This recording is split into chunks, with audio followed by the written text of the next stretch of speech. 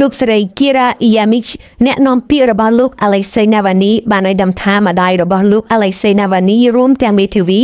បានធ្វើដំណើរទៅដល់មន្ទីរឃុំឃាំងនៅឯតំបន់អាប់ទិកដ៏សែនត្រជាក់នៅថ្ងៃសៅរ៍ទី17កុម្ភៈបន្ទាប់ពីបានចាំអស់រយៈពេល2ម៉ោងអាជ្ញាធរគ្រប់គ្រងមន្ទីរឃុំឃាំងបានប្រគល់លិខិតមួយមកឲ្យម្ដាយរបស់លោក Navalny ដែលបញ្ជាក់ថាលោក Alexei Navalny បានស្លាប់នៅវេលាម៉ោង2:17នាទីរសៀលថ្ងៃសុក្រទី16កុម្ភៈនៅក្នុងមន្ទីរឃុំឃាំងអ៊ីកាលេខ3ប្រភពពីអ្នកនាំពាក្យរូបនេះបន្ថែមទៀតថាបុគ្គលិកម្នាក់នៃមន្ទីរឃុំឃាំងបានប្រាប់ថាក្រុមមន្ត្រីជំនាញបានយកសាកសពរបស់លោក Alexei Navalny ទៅទីក្រុង Salikhat បាត់ទៅហើយលោកស្រី Kira Yamich បានប្រាប់ថា តាំងនាមឲ្យក្រុមគ្រួសាររបស់លោក Alexei Navalny គឺលោកស្រីសូមទាមទារឲ្យអាជ្ញាធររុស្ស៊ីត្រូវតែប្រគល់សាកសពរបស់លោក Navalny ឲ្យបានឆាប់ជាទីបំផុត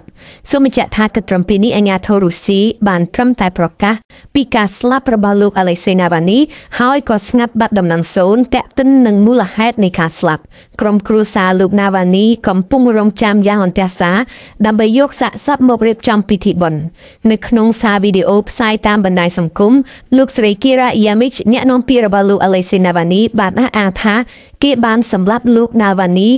នៅក្នុងគុកហើយគេចង់បំបត្តិភ័ស្តុតាងដោយយកសាកសពទម្លាក់ទុក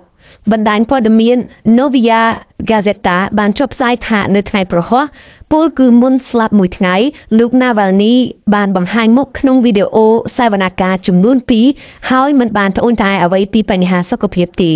ចំណែកម្ដាយរបស់លោក Navalny បានអះអាងថាខ្លួនបានទទួលសារវីដេអូលើបណ្ដាញ Facebook កាលពីថ្ងៃច័ន្ទដែលក្នុងនោះកូនប្រុសគាត់ហាក់មានសុខភាពធម្មតាទេ គូបញ្ជាក់ថាអាញាធរុស្ស៊ីស្ងាត់បាត់មាត់មិននិយាយអ្វីពីមូលហេតុនៃការស្លាប់របស់លោក Navalny ក៏ពិតមែនតែវាមានក្រែមឡើងវិញបានប្រតិកម្មក្តែងក្តែងទៅនឹងពាក្យចោទពីបណ្ដាប្រទេសលោកខាងលិចដែលចាត់ទុកលោកពូទីនថាជាអ្នកទទួលខុសត្រូវចំពោះការស្លាប់របស់លោក Alexei Navalny